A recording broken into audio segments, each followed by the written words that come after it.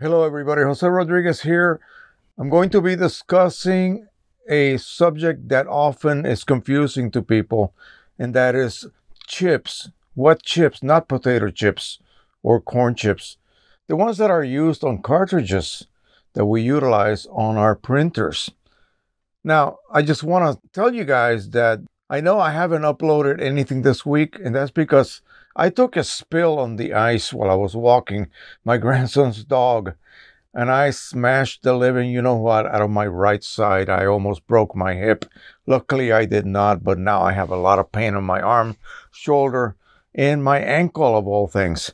And of course, that's the ankle that I literally shattered about 10 years ago. But anyway, so I've been taking it easy all week. This coming week, I am completely off my daughter is taking a whole week off from work, so we will not be attending school, although I'm sure we'll be visiting the kid. Anyway, so chips. Now, many, many, many years ago, chips did not exist.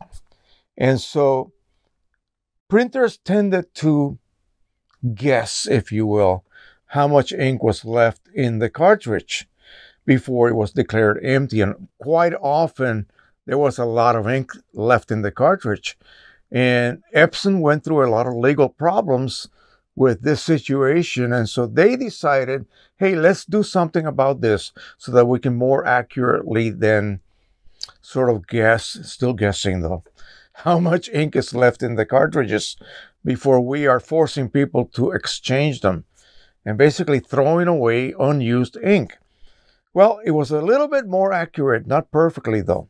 And so what would happen is that these chips, smart chips, if you will, had two types of code written on them. A read-only code, which basically identified that chip by its color, or basically the cartridge that it was installed on by its color. So magenta chip could not be used on a yellow cartridge. That was, you know, pretty tricky. It would then, depending on the firing of each nozzle, how many nozzles were fired, how many times during a job, it would guess how much ink was utilized, and it would send that information every so often to the chip and write that read write zone of the chip to allow you to see a drop on ink levels. And at some point, it would reach empty and you would have to change it. Well, it still had ink in the cartridge and they went through some other problems as well. So, anyway, a side note of the creation of chips basically made it impossible at that time, back in those days, for any of us to use third party inks on any of these cartridges, which were easily modified for refilling, I might add. But it still made it difficult. Well, the very smart people across the ocean created resetters. Okay. And resetters tend to look like this. This is just one of the types of resetters. There are many, many types. Again, these are all for Epson. And you reset by contacting the chip with those contact points. A light will flash, maybe turn green, maybe go steady, whatever the case might be. Every resetter works slightly different.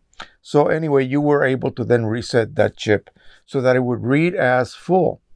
The only problem was, and it wasn't an issue back then, is that the ID code, because each color had a specific address, if you will, like an IP address, if you want to come up with something that we are familiar with this day and age. So the printer would see the same cartridge chip, in other words. Oh, it's the same chip, but it was reset to full. Well, back then it really didn't care. So it would accept that as a new chip sort of. So it would show it as being full. As long as you refill that cartridge back up to full capacity, you can continue to print. Well, things got worse because today's printers, especially Epson printers, are pretty much locked against that type of activity. And even if you could reset them, it sees the same ID color code and they will reject it. The way it works is kind of tricky it sees the same ID code, and the last time, the last time the printer remembers that ID code, it was empty. So how can it possibly be full now? Right? It's impossible. and so it will reject it. Now, up to the P600 from Epson, you could, you could use third-party products and auto reset chips. Auto reset chips are these third-party type chips. They each have an individual ID code for every color that it uses, but when it resets back to full, it's still the same chip, it's just full. Well, the P600 doesn't care. The P400 doesn't care. But the P700 does indeed care. The P900 cares very much as well as the P800. You could not get away with that. So a family of auto reset chips were created across the ocean and thought to have worked, and they may have worked. They may have worked in the very beginning, but Epson immediately counterattacked that by creating a firmware that they then installed on every single P800 that they still had in stock. And so when you purchase one, it was unable to use those chips more than one time. You can get away with one time because it sees the chip as a new entity, a new color, for instance, a new yellow code. So it accepts it, but when it reaches empty, and you attempt to reset it, it still sees it as the same yellow chip. And it could not possibly be full. What are you trying to trick me with? You see, that kind of mentality. So, what to do? Well, Canon. Canon is our hero in this case because just about every Canon printer that we are currently using for photo printing, which is what we do here, can be either reset or continue to be used, even though there may not be a resetter. Now, let me talk about resetters since we're mentioning them. This is a resetter for a Pro 10. Pro 10 cartridge right here. This is full, so I cannot demonstrate how to reset it. You plug this into your USB power source. And this is critical because most of these resetters from across the ocean come with like a 2232 round battery. You know, the kind that I mean, those little disc batteries. And who knows how long they sat in a warehouse. So by the time you get them, that battery may not be able to deliver full voltage and your resetting may be faulty. And if that happens, it could damage that chip. So from the get go, you should take them apart, and install a brand new battery that you buy either from Amazon or down the street at the local store to make sure that you are able to deliver the proper voltage to the chip. So as you can see, there are little contact pins here. You will slip the cartridge in place, a light will flash, and then it will just go full. And in this particular case, the light will then go out.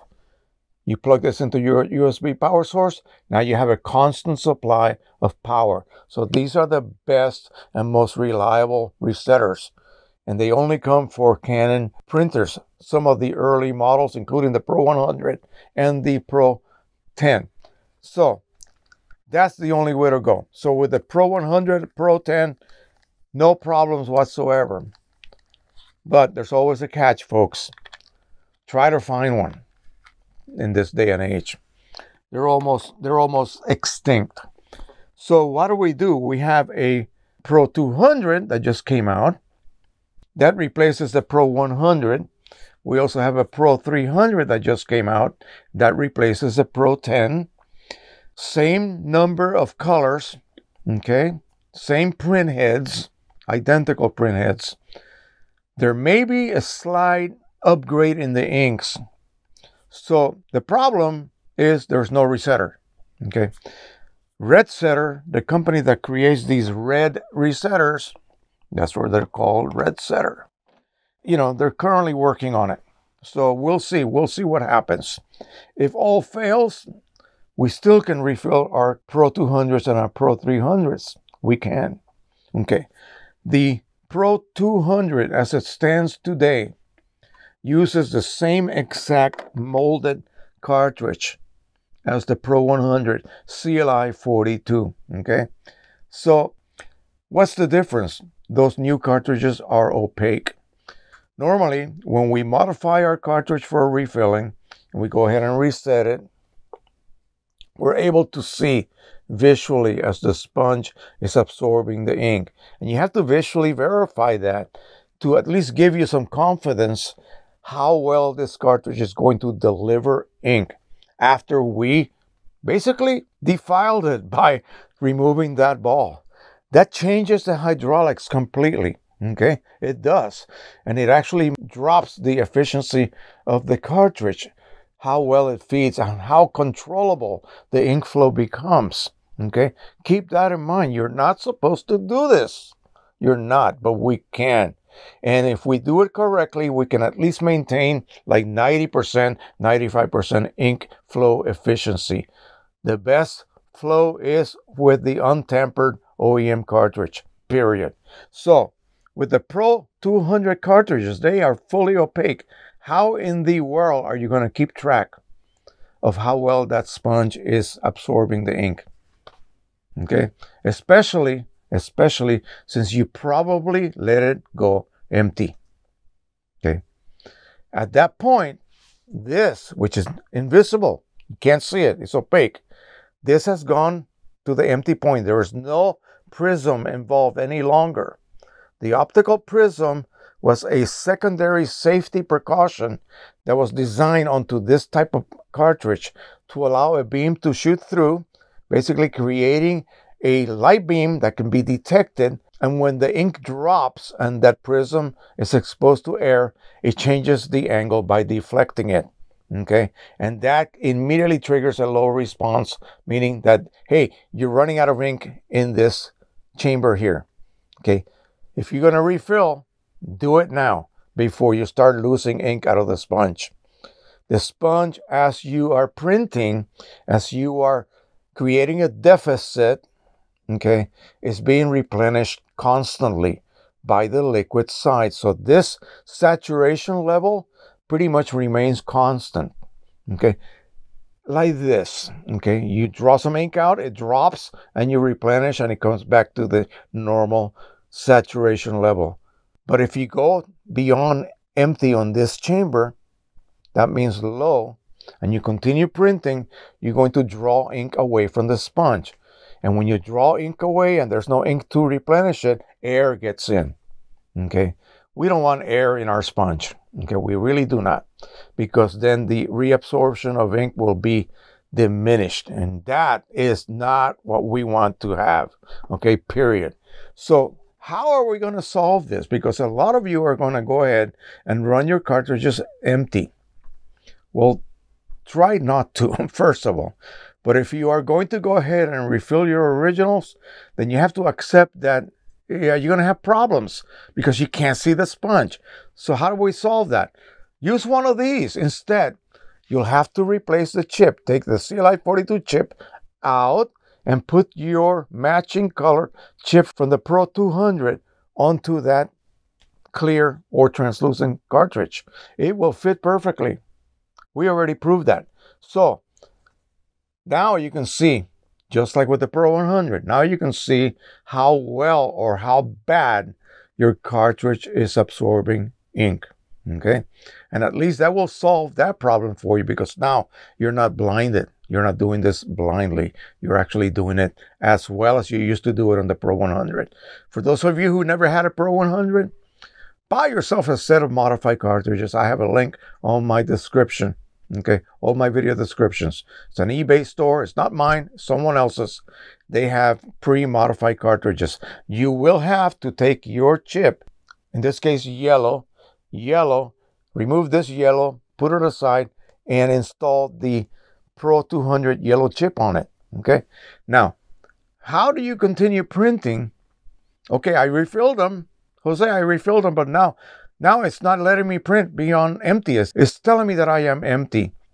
As soon as it reaches empty, okay, you hold, in this case, you hold this button, the stop button, five seconds. Let go. It will allow you to continue to print from now on. You will no longer have indication of ink levels, but what will happen is that you have a little bit of a, it, it'll show like it's super, super low. Okay but it will not stop printing. And now you have to visually keep track of your ink levels yourself. Okay. Once you get all of them done that way, then it's going to have to be something that you do, say, every month or so, depending on your printing habits, how much you print per week, let's just say. So that by the end of the month, you'll know that one of those cartridges may be maybe down to this level here. Well, now you top them all off and you continue doing this every month.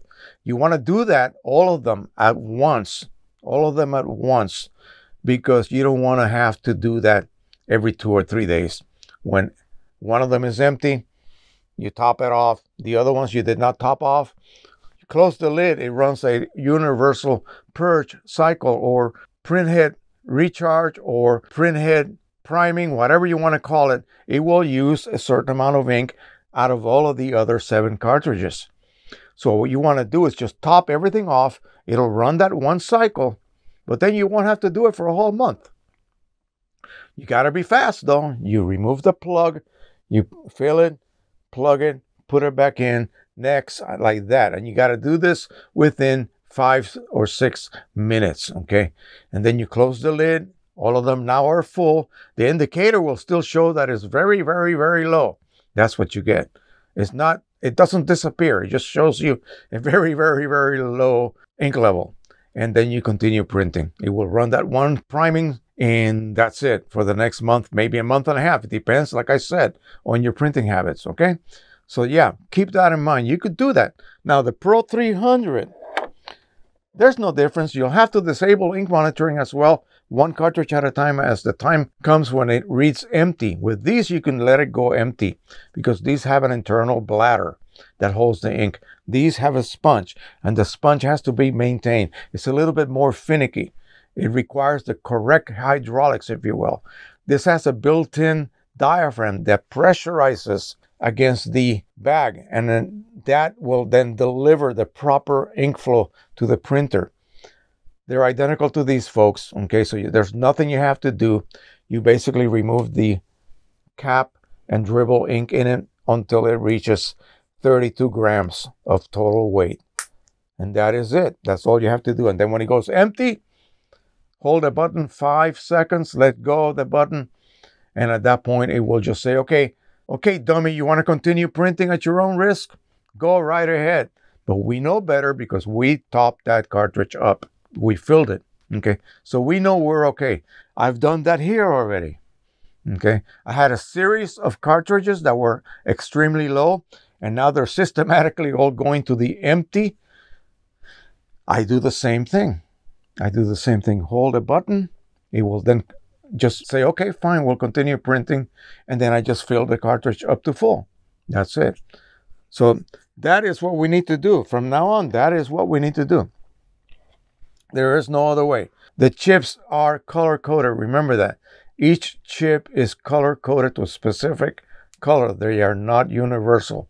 So be aware of that. You cannot mix and match. These cartridges are not keyed, so you can mistakenly put them in the wrong slot, although it is pretty clear. It's yellow, and this is yellow. That goes in the yellow slot, right? Not the magenta slot. If you do that, you'll get an error and you'll get a possible lockup of your printer. Yes, imagine that. So keep that in mind. Chips are individual. They are not universal. They cannot be used from printer to printer, say different models that use the same cartridge. No, you cannot. Okay, in this case, you need to have a chip for that specific color and that specific printer model. All right, enough about chips we can go on forever. The chips are quite a development that just came about maybe 15 years ago. And again, it had its reasons for existence, but it also created some problems for us refillers.